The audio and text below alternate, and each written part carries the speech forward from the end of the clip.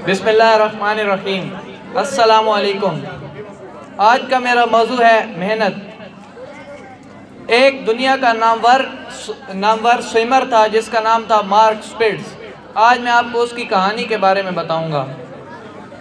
उसने 1972 में जर्मनी में ओलंपिक्स हुए थे, जिसमें उसने सात गोल्ड मेडल्स जीते थे। ये एक आलमी रिकॉर्ड था। जब उसने सात गोल्ड मेडल जीते तो वो स्टेज पर आके बैठ गया। और उससे सहाफ़ियों ने मुख्तलिफ़ सवाल किए।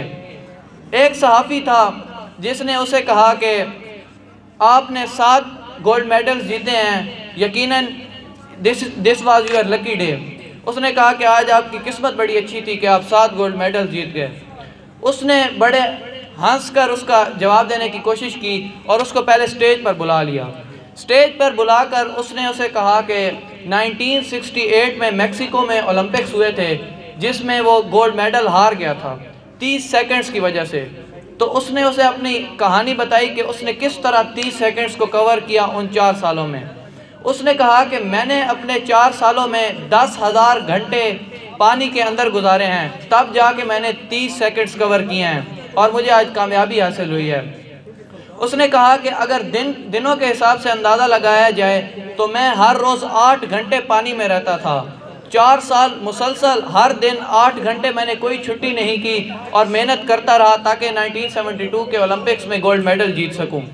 उसने मुसलसल मेहनत की और उसने ये कहा कि उन चार सालों के दरमियान मैं अपनी बर्थडे को भी उधर पानी में ही सेलिब्रेट करता था मेरे वालदेन का इंतकाल हो गया, मेरे क्रेडिट कार्ड्स वगैरह खाली हो गए, घर और गाड़ी बिक गई, लेकिन मैंने कोई परवाह ना की। और हर रोज़ आठ घंटे उन चार सालों में मैंने पानी के अंदर गुजारे।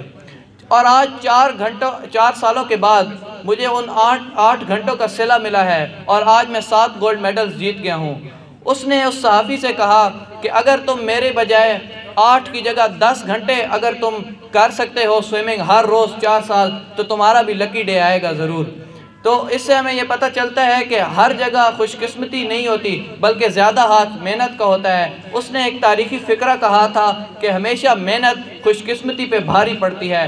हो सकता है कभी आपका खुशकस्मत आप किस, किसी कोई दिन आपके लिए किस्मत उसमें आपकी लिखी गई हो लेकिन हर जगह पे किस्मत का हाथ नहीं होता। आ, किसी किसी जगह पे आपको मेहनत करनी पड़ती है और उसको उसकी मेहनत का फल मिला और आज तक उसका रिकॉर्ड कायम है कि उसने सात गोल्ड मेडल जीते। शुक्रिया।